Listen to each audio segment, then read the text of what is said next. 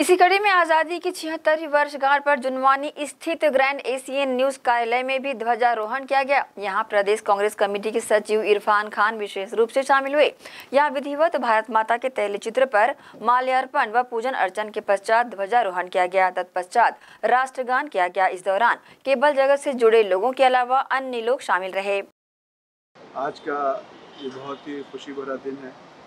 आज हमें उन सारे शहीदों को याद करना है, नमन करना है, जिन्होंने इस भारत के लिए अपने प्राणों की आहुति दी, अपनी जवानियों को जो है जेल के पीछे जो उन्होंने काट दिया, और ताकि हम एक स्वतंत्र देश में सांस ले सकें, हम आज़ाद देश में जी सकें।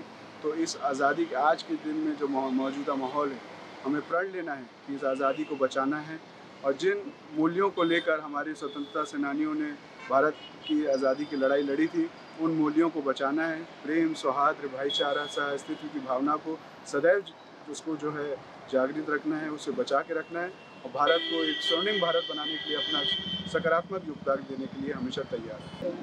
आज ग्रैंड एशियन के कार्यालय में जो ध्वजारोहण कार्यक्रम हुआ है मैं सबको बहुत बधाई देता हूँ, प्रदेशवासियों को भिलाई वासियों को, देशवासियों को बहुत बहुत बधाई एवं अनंत शुभकामनाएँ।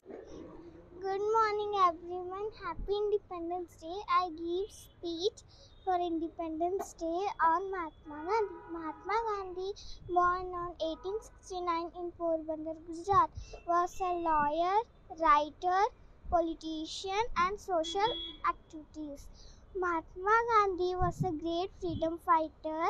We also known as Bapu and father of nation. Mahatma Gandhi support ahimsa and ahimsa and non-violence. We celebrate her birthday as Gandhi Jayanti. Thank you.